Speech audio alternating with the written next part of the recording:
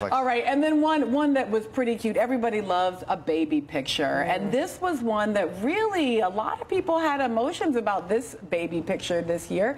This is the Romney family, Yeah. Right. Um, and if and of course there on um, on uh, Governor Romney's knee is Mm-hmm. his adopted grandson, who is an African American, adopted African American child, Kieran Romney, Any captions for this one. One of these things is not one of these things. The same. And uh, that little baby, front and center, would be the one. And they isn't he the most gorgeous? My my goal is that in 2040, the biggest thing of the year will be the wedding between Kieran Romney and North West. Can you imagine Mitt Romney and Kanye West Oh my as in-laws? As long as I, I think this Karen's picture is great. It's it's really sums up the diversity of the Republican Party. Yeah.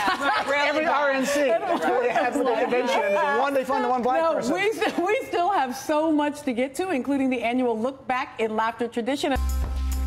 Good morning. I'm Melissa Harris Perry. We have a lot of news and politics to discuss this morning. But before we get to that, I am going to start with an apology. Last Sunday, we invited a panel of comedians for a year in review program. It's what we call our Look Back and Laughter.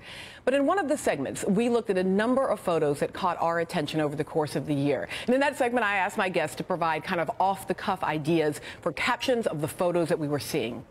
Among the images we aired was one of the Romney family that showed Governor Mitt Romney's grandchildren, including his adopted grandson, who is African American.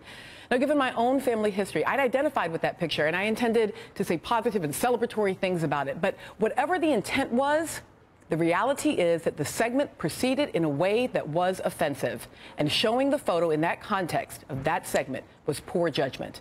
So, without reservation or qualification, I apologize to the Romney family. Adults who enter into public life implicitly consent to having less privacy, but their families, and especially their children, should not be treated callously or thoughtlessly.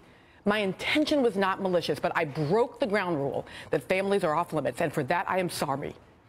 Also, allow me to apologize to other families formed through transracial adoption because I am deeply sorry that we suggested that interracial families are in any way funny or deserving of ridicule.